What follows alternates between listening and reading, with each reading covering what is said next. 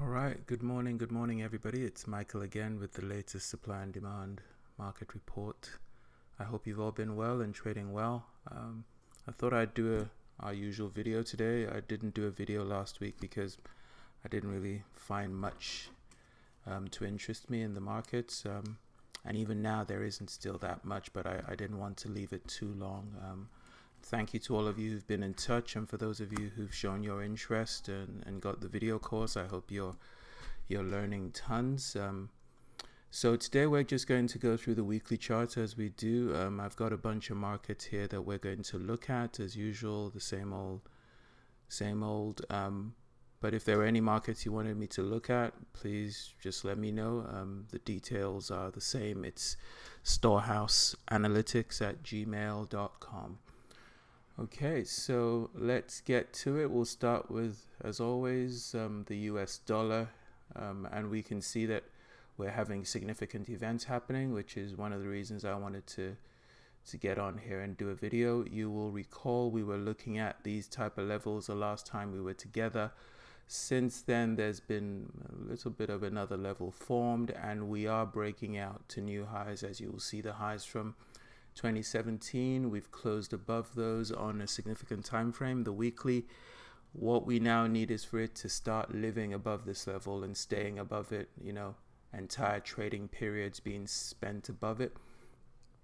We are yet to see that, but we are bullish if we start to pull back. There are levels of demand that are below us. If we look above us to the left, I'm just going to scrunch up so there are levels in here. I believe they are better seen just quickly jumping to the monthly. Yes, I will just put that one in. So that's the monthly level. We can always go down. Let me get the right tool. We can always go down into the weekly and start looking into that area. You'll see we're not that far away from it. And the weekly levels are lower down into this range. So let's go back to the weekly and scrunch it up again so I'll just blow that up real quick and you can see I'm just going to tighten it up a little bit and start putting it from here from this this candle here. I mean really you could just take it from here to be honest.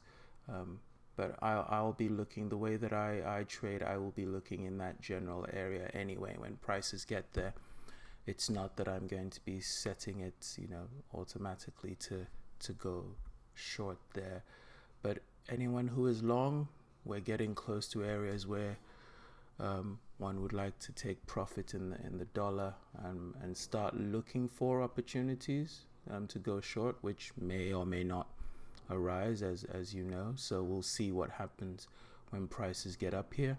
Um, looking at the euro, which would be the opposite again, as the euro, as the dollar rather is rising into those supply levels and forming demand in the euro, we can see that we have supply levels above us that have been formed, levels on top of levels. This one's not so great. The wick is a bit larger than I would normally like, um, but it's the origin of the entire move to the downside. And if we go and look below us in terms of demand, you're going to be looking in this range, and there are levels there there are levels there to look at. Um, I think we've traded through this level. Let's just have a quick look. Yeah, we have. As you can see, we've traded through it. We're back down at it now. Prices are still stalling, but it's not an area that we would be looking to use, so we can we can always take that off. But it's definitely not in not quite there for this time frame, the way we're trading. Um, for us to be initiating new short positions? No way.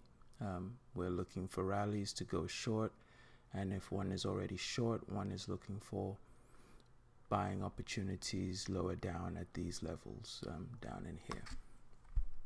Okay, so that's the dollar and the euro real quick. The pound is forming supply zone still. It still continues to go down.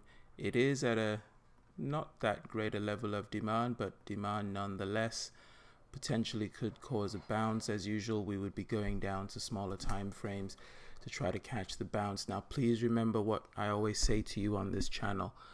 It's it's a lower probability trade to be looking for short positions down into this area and you don't necessarily want to be just looking into this level here and looking for demand zones to to buy for a rally up unless of course you're just looking for a small bounce on a very small intraday type of time frame if you're looking for this to go weekly to weekly probably best to wait on the daily um, at the lowest maybe a four hour to look for a, a stabilization of price and then a change in trend for you to then consider um, going long to try to get it back up into the opposing weekly level where you really want to be going short.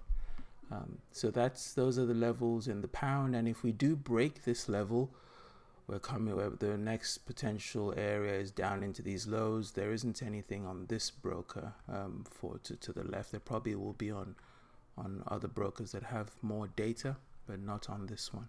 So these lows here are the you know next level if we break break this demand. Okay. All right, New Zealand US dollar also continuing to go down. We've talked about that level in previous videos and it has just been a monster move. We are beginning to come down into areas where you know you're probably going to be seeing people trying to pick a bottom as it's coming into this area. We will probably be looking for a bit of a move, a bigger move, see if this this area here, let me just point an arrow to it, this area here becomes a drop base drop supply. For now, it's nothing. Um, it's still it's still in the process of being formed if it is formed. Um, so there isn't too much to do on this time frame. It might be worth watching it on a on a daily as it keeps coming down to see as again if it stabilizes um, and starts forming um, demand zones. Uh, but to initiate new shorts here now, definitely not. Okay, moving swiftly on to the Aussie, similar picture. That one just fell short of the supply up into here and it's just continued down. We do not have demand on significant demand anyway until around here. We have this level that continues to hold price. It's gone one, two, three, four at least. Now this is the fifth time and as one would expect it's gone deeper in so we could potentially see a rally from here. Um, it's it would have shaken out a lot of stops below below the lows in, in this area. Yeah, that's a big, big arrow. Um, let me use a thinner one just to make sure you understand what I mean. So all the all the potential stops in this sort of area that were below these lows that formed, made a new high, came back to it, bounced, bounced, tried to make a new high again, and then it's taken all of it out. So there will be stops that would have been taken out. So you might get a sort of short squeeze to try to take it back up into levels, but then you are likely to come up against sellers. Let's take a look on the daily. Mm, probably around here. You might come up against significant selling. If we do start to break down and break down through the weekly demand zone, then I would be interested in in this area. Um, in fact, right now, I would be interested in that area as, as of now, um, just to see what happens when prices do get up here. This would be an area of interest, and that one also. This one, obviously, the higher it is, the better, um, but this one is, is not bad at all either. Okay, um, let's go to the indices now. We'll go back to the weekly, we'll go to the indices. So we've continued to see the stock market struggle. It's down into some areas on the S&P 500, the US stock market, I should say, where one would expect maybe a bit of a bounce and we we did see that rally on Friday, a lot of stocks up, you know, 10, 15, 18, 20%. Um, but ultimately we are still in a really difficult market if you are long. Um, so you're looking at momentum still being to the downside. The majority of stocks are still um, going down, uh, apart from the bounce on Friday. So watching this area, there aren't any quality supply zones other than the top here.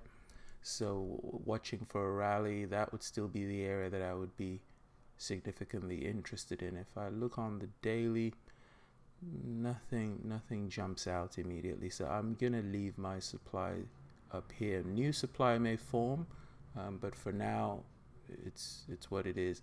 Looking for a bounce trade, trading the corrective trade off of the daily again. I would want to see prices start trading above that sort of area um, and forming demand zones before I would be interested in, in going long to try and get it back up into into the weekly supply. Okay, it'll be a similar picture for the Nasdaq. Um, that one doesn't have that much demand. There might be some demand down in the 98.50 area, but for now it's just got lower highs and lower lows. Not seeing any quality supply just yet. Intraday, there's a ton of levels you can play back and forth, but for this for this market, the supply that one would be interested, depending on how you draw it. If you drew it um, from the lows, you could take that one as one level. You could take that one as all the way all the top there as another level. Then you could argue that that level has been hit twice and held. Um, so that's what we're looking at on the Nasdaq.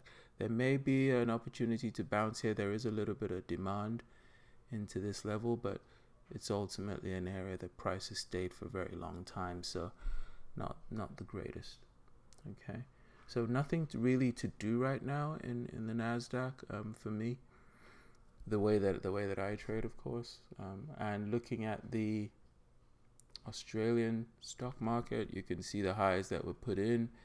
We've got demand still holding into that area. Um, just hold use the whole level. So you've got prices tested there once, twice. It's come back the third time there is supply above now. Um, it's still in a range ultimately, but this is the area of the top of the range. Uh, I've joined two levels together there, level on top of level, the rally base and the drop and the drop base drop. So we'll see if prices do make it back up there. Okay, let's go to Japan. And Japan has continued to work off of that weekly we've talked about in previous videos. There isn't that much demand until you start getting down into these areas. So this market could potentially base between this level that took out, as we said, this supply um, that we pointed out in the last video a couple of weeks ago. It took out that supply and you can see that the market is trying to use that level as the demand. It rallied strong, it came into supply, so it's now stuck in between these two levels. So trading this kind of market is possible if you're looking at short-term moves if you're looking for a bigger move um, maybe not so much. You want to be waiting for prices to start breaking down and you shorting um, rallies. Okay um, let's go to Germany and Germany continues to trade off of the weekly supply that we've pointed out it's a big big demand zone not ideal got another one just below and that's again where we're stuck in between these two levels. Um, it's not that directional, but for intraday trading, this is just about enough, more than enough room. Um, the closer you get up into these levels, the short, the more short you want to be. Closer you get down into this demand, the the more long you want to be. Um, it's not very directional right now um, because you're kind of stuck in the middle, which is never a good thing being stuck in the middle. Um, okay. And the UK market it's it's still one of the sort of stronger ones holding up there and you can see the highs put in there that it's still holding. It's got some demand into this level here. Um, that level there is what is really holding it um, it's this this one will be like the bottom of the range that's formed. We remember we talked about this supply in in the previous video and that supply so far is what is holding prices um, to the downside. So again for the for the non-US markets kind of stuck in the range. For the US markets not great supply. So the indices may not be the place to be living over the next week or so um, until we see clearer levels um, form as, as the market gives us more information. Um, okay, let's go to the energy complex and we'll look at nat gas first obviously with the geopolitical situation that's been going on, Nasdaq, uh, the Nat gas continues to to be strong. It's holding this sort of. It's not even a demand zone. It's it's an area of congestion right in here that prices rallied from. Not that strongly but it's come back to it and that's where people have used to to try to buy it to continue it back up. I think there is a little bit of chasing going on um, for people who've missed out on on most of this rally. So that is at least my explanation to myself why maybe this kind of zone which is not really that well formed is is being used. So basically any any sort of drop in price is being bought up suggesting the urgency to, to want to get in long in, in this market for me I'd rather it still come down into these into these any one of these two levels as we've talked about before that would be a nice pullback that we can then look to hold on for for longer. But it's still near its 52 week highs, showing its strength. 52 week lows are still way down there, so we're nowhere near the 52 week lows, obviously. So up, up, and away. And crude. Crude also refusing to break down, still got that little demand level. And oh, let me just one more thing. Sorry about the NASDAQ. I believe we had a supply level in the NASDAQ that we were looking at um, that level there that it's it's traded through it um, but we still have another little one just above where it's it's come to so those that will be the opposite level to, to consider maybe if you're long to look for taking some off the table ultimately up in here is where the supply um, really is up in there but as this market keeps going up it's these supply zones that will be looking to cause the pullbacks. So that's where I would um, be looking to peel some off the table. Just quickly going back to crude, um, crude similar picture. Crude has made it uh, obviously close to its its own supply levels. Let me just blow that area up. There might be a gap in there. No, it's just the wick to wick. Okay, so depending on how you want to draw it, there's nothing wrong with drawing it like that. If you wanted to tighten it up, you could tighten it up to there or even more over there near the origin of the drop. So it's it is nearing supply, it's not quite there, and it is holding above all you see all of this congestion, all of that area there, it's holding above previous areas that had held prices down, it has traded through it.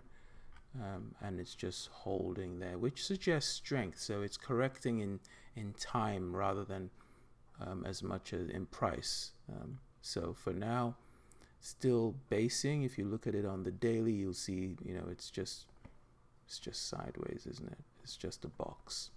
Um, so trading back and forth on the daily. If you're intraday trading, you're looking at these two levels up there, and you've got your levels of demand down into this area. If you're if you're trading shorter term. Okay, we're looking at the weekly charts. I keep going to the daily. I can't help myself. but I'm going to try and stick to the weekly charts. Um, so, yeah, that's what we're looking at. Let me take all of these off. Yeah, for crude, again, that level there, and the supply is up there. Okay, um, metals, gold not being the greatest market. It tried to go, it did try back in March, didn't quite make it, and it's coming back down into the range.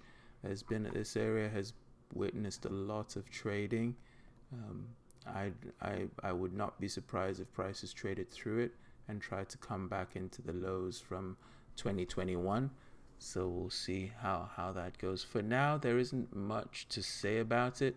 Still need to see if this area forms some um, supply. It's not fully formed yet, but it's an area to keep an eye on. If we drop a little bit more and, and stay away from this level a little bit longer, then we might be looking at a drop based drop into this area. I, for me, would like it to get below these lows, and that will give me more more evidence that selling has definitely taken over. For now, we're in a box. We're in that range. That's all that we're. That's all that's happened.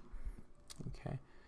Um, going to silver. Silver is is much um, weaker um, than gold. Obviously, as you can see, there is supply above us, which prices were too weak to get to.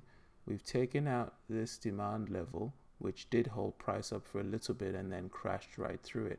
Again, we're looking to form new supply in this area, not fully formed just like the one in gold we just talked about, but it's an area to watch. It was the pause before we went below all of these lows in here. So it's definitely an area to watch and the nearest sort of area you might want to look at if in terms of buying is down in there. So there's room to go if we do form up in this supply and we can watch for a rally back into that area if we do form it um, and then maybe aim for this this whole area down in here for a target okay and finally we'll look at corn what can I tell you corn continues to go with not that much opportunity not that much of a pullback on this time frame um, there are buyers who are trying to use these areas to, to get in long. It's not moving that much um, anymore. It's definitely slowing down. You can see that even just from the size of the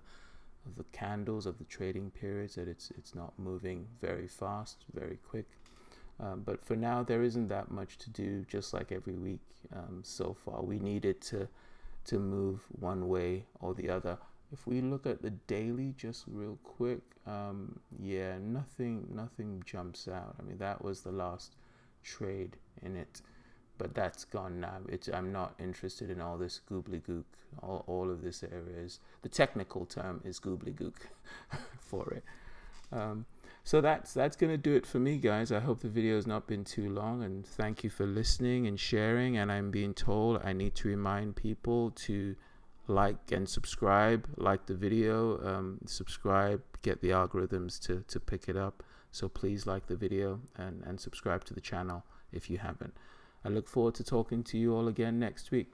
Take care, everybody. Trade well and trade safe.